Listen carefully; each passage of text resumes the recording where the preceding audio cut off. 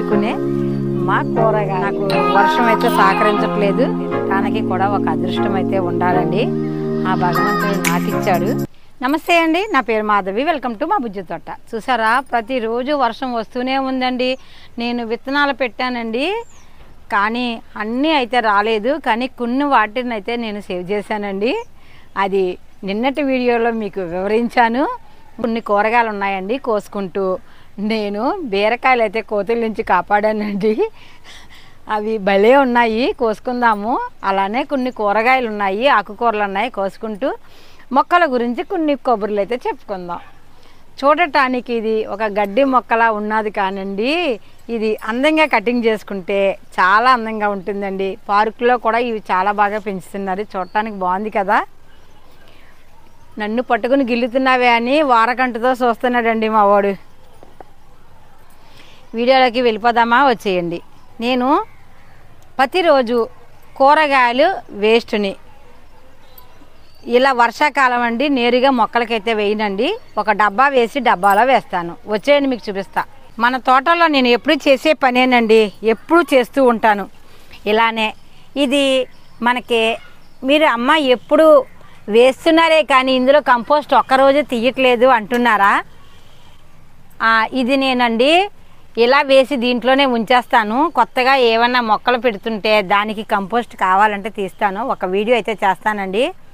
ఇది వేయటం వలనండి మనకి నాలుగు మొక్కలు వేసే చోట్లో ఇక్కడ ఎనిమిది మొక్కలు వేయటం జరుగుతుందండి. మీకు ఇక్కడ డబ్బా మూత ఉంటే పెట్టండి. మూత లేకపోతే ఏది ఉంటే అది పెట్టేయండి.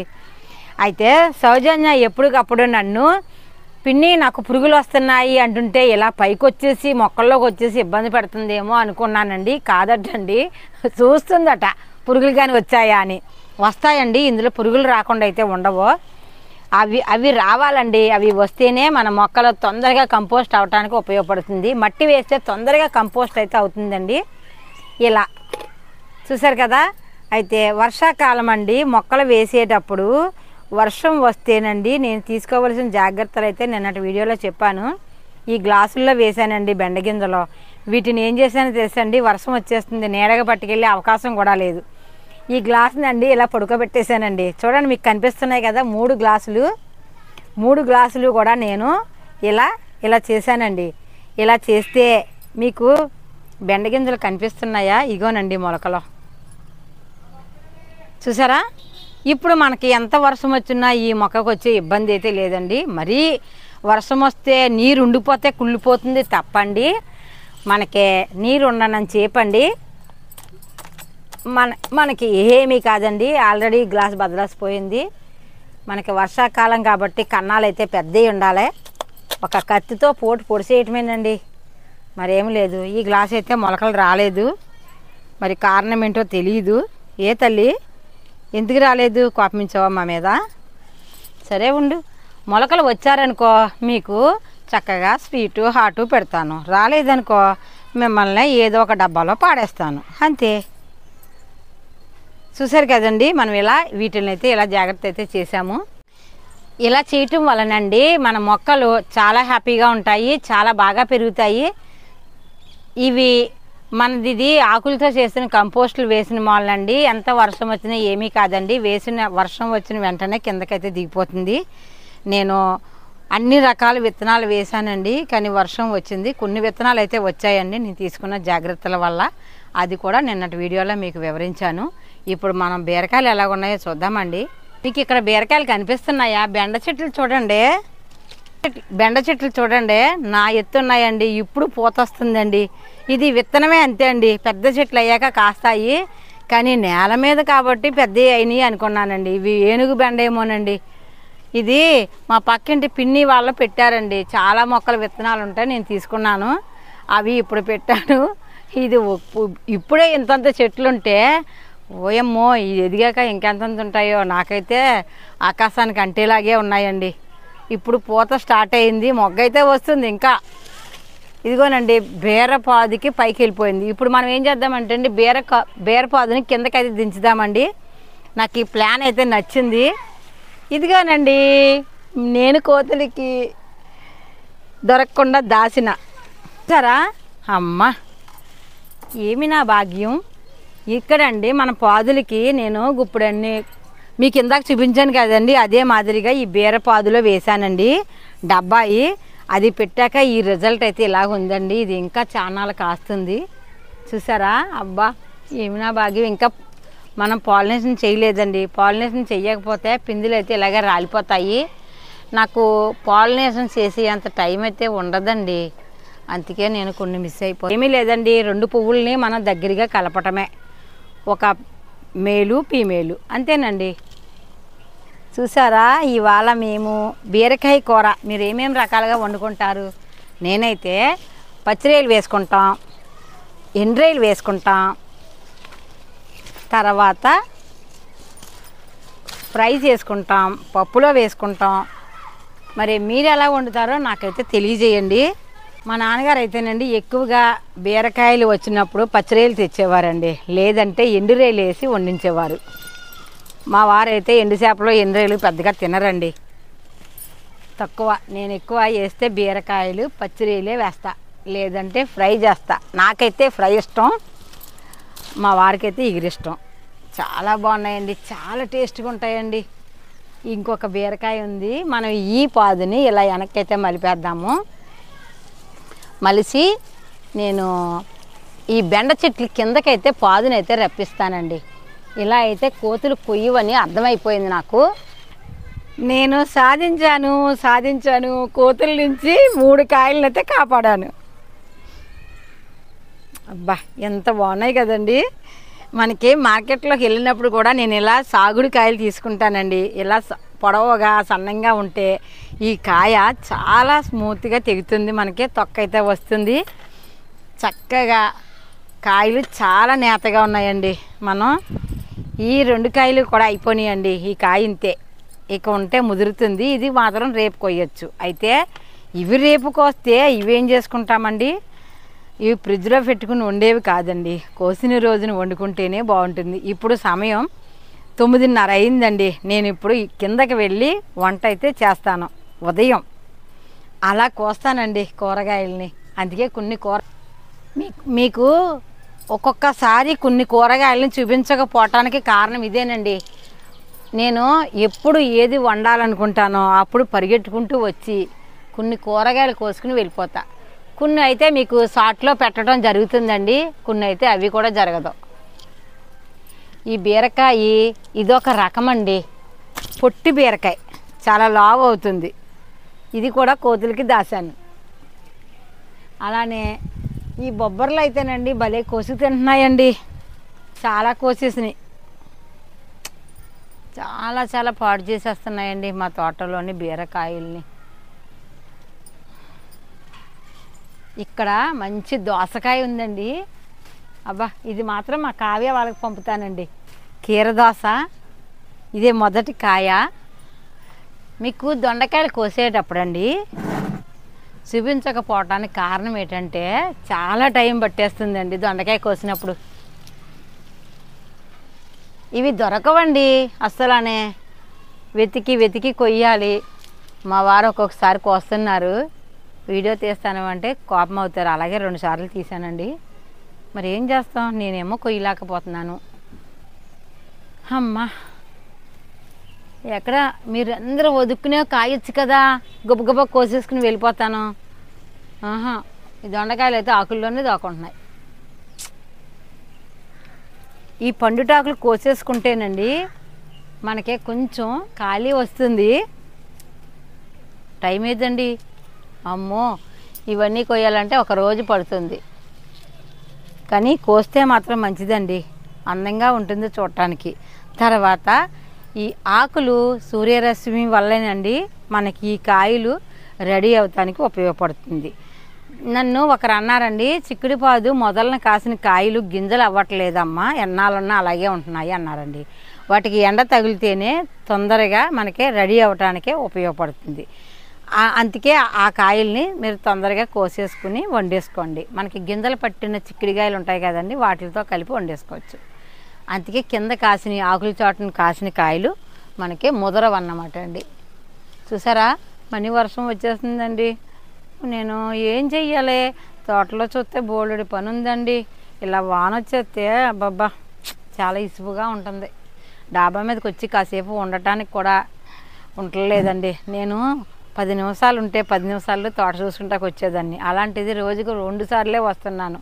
లేదంటే రోజు నాలుగు సార్లు తిరిగేదాన్ని. వావ్ నేను చూడకుండానే బీరకాయ పెద్దదైపోవటం కాసేయటం ఏలబడిపోవటం. చూసారా? నేను అస్సలు చూడలేదండి. థ్యాంక్ యూ భలే ఉంది కదా? నిన్న రెండు కాయలు కోసానండి. ఉన్నాయి మన ఇంట్లోని. అవి ఇవి కలిపి కూర వండేసుకుందాం ఇంతకే ఇవాళ మా కూర ఏంటి అని అడగరే? పప్పు బచ్చలేనండి. బీరకాయ ఫ్రై చేస్తాను. మా వారు అంటారు ఇగురు వండకపోయేవా అంటారు. అందుకే కొంచెం పప్పు వండామనుకోండి కలుపుకోవటానికి ఇది ఉంది కదా అని నేను చెప్పేస్తా.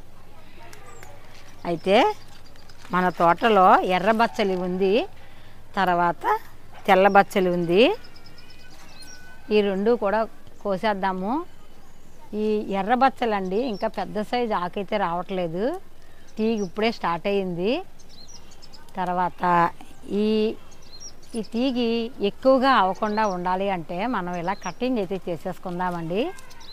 ఇలా కట్ చేసేసుకుంటే మనకి ఇక్కడే గుబురుగా అవుతుంది. లేదంటే ఇదే పందిరంతా పాకేయటానికి ఉపయోగపడుతుంది.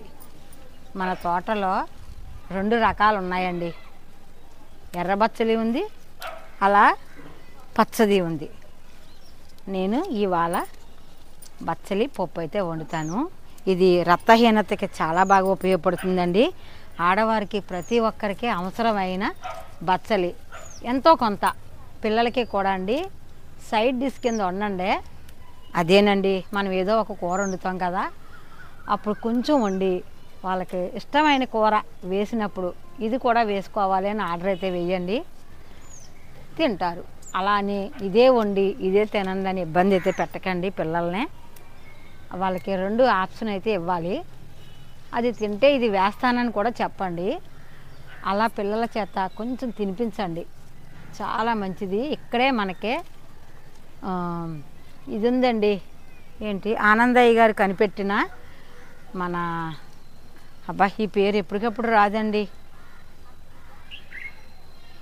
అమృతవల్లి కాదు. తిప్పతీగండి. తిప్పతీగని కూడా ఇక్కడే వేశాను. మన తోటలో వచ్చింది. అనుకోని అతిథిగా వచ్చింది. వేశాను. అయితే అలానే చింతకూర కూడా ఉందండి. నేను రేపు కోసుకుంటాను. మరి ఇప్పుడు అవ్వదు. వర్షం వచ్చేస్తుంది ఆల్రెడీ. చాలండి ఇది. మన తోటలో బుల్లి పొట్లకాయ వచ్చేసింది. రావనుకున్నానండి చూసే దగ్గర చూడండి. రెండు పొట్లకాయలు. ఇక్కడ ఒకటి పాలినేషన్ చేశానండి. చిన్నగా ఉంది. అది కూడా వస్తుంది మనకే. చూసారా ఎంత బాగుందో. వీటికండి నేను చిగుర్లు కట్ చేశానండి. కొంచెం ఎదిగినప్పుడు అండి చిగుర్లు కట్ చేస్తే మనకి అవి బాగా వస్తాయండి. అయితే ఇక్కడ ఈ పువ్వు వేరేగా ఉందండి. ఏం పువ్వు అది గుమ్మడి పువ్వులాగుంది. చూసారా? ఇది మనకి ఎంత పెద్ద పువ్వు ఉందో చూడండి. అమ్మో! ఇది ఏంటంటే నున్న పేరండి. చూసారు కదండి? పొట్లకాయలు అయితే ఎంత బాగున్నాయో. అబ్బా! ఇవి మేల్ ఫ్లవర్స్ ఇంకా వచ్చాయండి. ఫీమేల్ అయితే ఇంకా రాలేదు. కానీ అండి ఇవి మన తోటంతా కూడా మొత్తం అల్లీసిలాగా ఉంది. చాలా విపరీతంగా అయితే ఉన్నాయండి. ఇది మనకి ఎక్కడైనా మీ ఇంత పెద్ద సైజు బీరకాయ పువ్వు నేను ఇదే చూడటం అండి నున్న బీర కూడా ఇదే ఫస్ట్ టైం కానీ చాలాసార్లు వండాను. కానీ పెట్టడం అయితే ఇదే ఫస్ట్ టైం అండి. నా పాదులు అయితే ఇంత విపరీతంగా అయిపోతున్నాయి. ఏం చెయ్యాలి? కొత్త పాదులు ఎక్కడ ఎక్కించాలో పోయిన లేదండి అయితే ఈ దొండకాయలు మాత్రం నన్ను ఎప్పటికప్పుడు ఇబ్బంది అయితే పెడుతున్నాయి. అబ్బబ్బా. ఒ- కాదండి ఇలా అలా పాకేస్తున్నాయండి. ఆ పక్కకే ఈ పక్కకే తంబాలు ఎక్కాను. కాయలు ఎలా కొయ్యాలి నేను? ఓయ్ మోయ్. ఇదిగో చూసారా ఆకుల్లో దాక్కున్నది దొండకాయ. వర్షం అయితే వచ్చేస్తుందండి. మనం ఇంకా కాయలు కొయ్యటానికి అయితే అవ్వదు. నేను ఇంకా నల్లేరు కోద్దాం అనుకున్నాను చింతకూర కోద్దాం అనుకున్నాను. ఉల్లి ఆకులు ఉన్నాయండి అవి కోద్దాం అనుకున్నాను. ఇక ఏమీ కోసేనట్టు ఏం లేదండి. ములగాకు ఉంది. ఆషాఢంలో ములగాకు మా తెలగపిండి వండుకోండి. ప్రతి ఒక్కరికి కూడా చాలా మంచిది. కొంచెం ములగాకు కోద్దామండి. మొన్నే నాటాను కదా. వీటి చిగురులు అయితే చాలా బాగా వచ్చాయి. మనం పైన చిగురులు అయితే వేసేద్దాము. ఎందుకంటే మనకి ఇవి ఇలా వెయ్యకపోతే పూత అయితే రాదండి. వావ్! ఇవన్నీ కొత్తయే కాబట్టి అన్ని చిగుర్లేనండి చాలా బాగుంది. మనం ఇలా వేసేద్దాం. వేసిన ప్రతి కొమ్మ కూడా మనకి కొమ్మలు వచ్చి చిగుర్లు వస్తాయండి. ఇవి చాలా సున్నితమండి. మనం చాలా జాగ్రత్తగా వీటిని కట్ చేయాలి. సాకు తెచ్చి ఇరిసేంత టైం అయితే లేదు మనకే.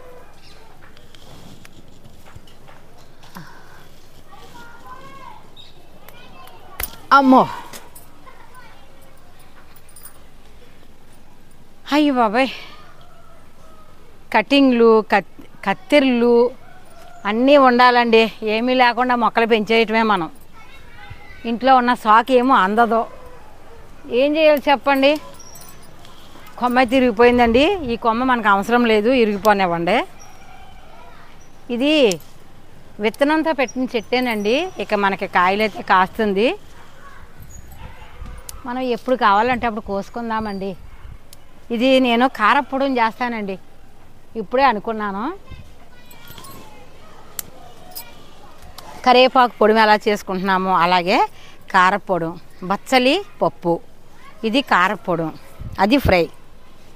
వర్షాకాలం ఇలా అమ్మ పోయి పడిపోయాను. ఆకుకూరలో కోసుకుండి ఆనందంలో నేను ఎక్కడేస్తున్నానో కాల్ నాకే తెలుస్తలేదు. బాగుంది కదండి. ఎవరికైనా గిఫ్ట్ ఇలాంటి బొక్కేలు ఇస్తే ఎంత బాగున్నానండి. పువ్వులు ఇస్తారో తీసుకుంటారో బయట పారేస్తారో. ఇవైతే చక్కగా ఇంటికి పట్టుకెళ్ళి కూర వండుకోవచ్చు. కదా? మన తోటలో ఇంటికి సరిపడగా వేసుకున్న కరివేపాకు చెట్టు. చిన్ని ఆకండి భలే వస్తుంది ఇది. అబ్బా కోస్తుంటేనే మంచి వంటకం వండినట్టు వస్తుంది. నేనైతే కరివేపాకు ప్రతి కూరలోని వేసుకుంటానండి.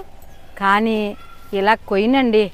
ఎప్పుడో వీడియో సమయంలో కోస్తాను కానీ ఎప్పుడూ డాబా పైకి పరిగెట్టుకుంటూ రావటం కరివేపాకు కొయ్యటం. అయితే మనకి ప్రతిరోజు వర్షం వస్తుంది కదండి.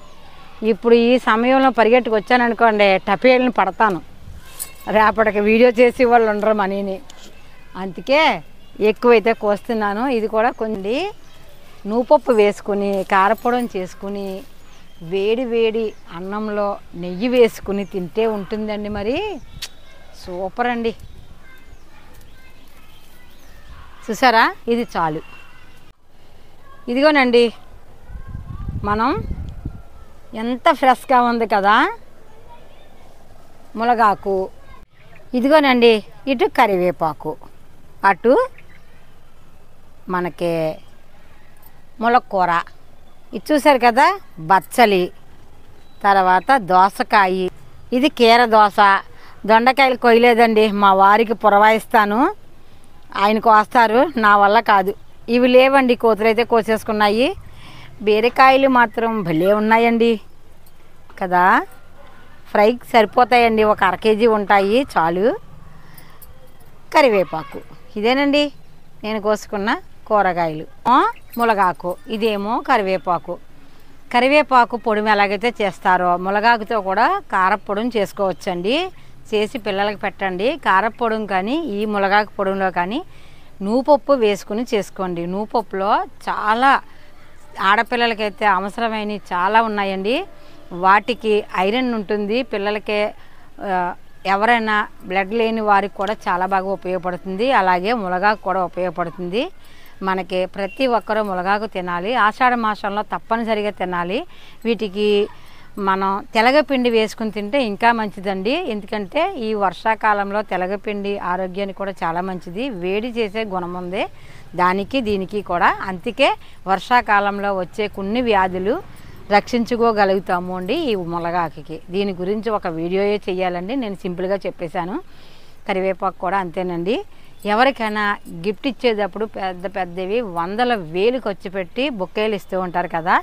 ఇలాంటివి ఇచ్చారనుకోండి వాళ్ళు తీసి ఇలా వెనక పాడేసినా మాలాంటి వాళ్ళకి కూర అవుతుంది కానీ పువ్వులు గుర్తు ఇస్తే అది ఏం చేసుకుంటారు చెప్పండి? ఒక మొక్క ఇచ్చినా బాగుండు కదా. వా- వారికి పట్టుకెళ్ళకపోయినా వేరే వాళ్ళకైనా ఉపయోగపడుతుంది. నేనైతే ఇంత సింపుల్గా మా తోటలో నేను పెంచుకునే మా కూరగాయలు. చూసారు కదా? ఒక పక్క బీరకాయలు మరో పక్క కీర దోస ఆకుకూరలు. నేను ఇంకా ఆకుకూరలు కొన్ని వెయ్యలేదండి కొన్ని ఇంకా కోసుకోలేదు. ఇంకా చాలా అయితే ఉన్నాయి. నల్లేరు ఉంది చింతకూర ఉంది చాలా ఉన్నాయండి. అవన్నీ చెయ్యాలి అంటే నాకు వర్షం అయితే సహకరించట్లేదు. అందుకే నేను సింపుల్గా ఈ వాళ్ళకి సరిపడగా కూరగాయలను అయితే కోసుకున్నాను. ఇంత మంచి కూరగాయలు పండించుకొని తినటానికి కూడా ఒక అదృష్టం అయితే ఉండాలండి. ఆ భగవంతుడు నాకు ఇచ్చాడు చాలా సంతోషంగా ఉంది. ఇదేనండి ఇవాళ వీడియో. ఈ వీడియో ఎలాగుందో లైక్ చేయండి షేర్ చేయండి కామెంట్ చేయండి. మా ఛానల్ని సబ్స్క్రైబ్ చేసుకోండి. గంట సింబల్ టచ్ చేయండి. నేను పెట్టిన ప్రతి వీడియో నోటిఫికేషన్గా వస్తుంది. ఉంటానండి. Bye bye. లోకా సంస్థ సుగ్న భవంతు. అందరికీ హ్యాపీ గార్డెనింగ్. మా చిన్నారులందరికీ bye bye bye bye bye.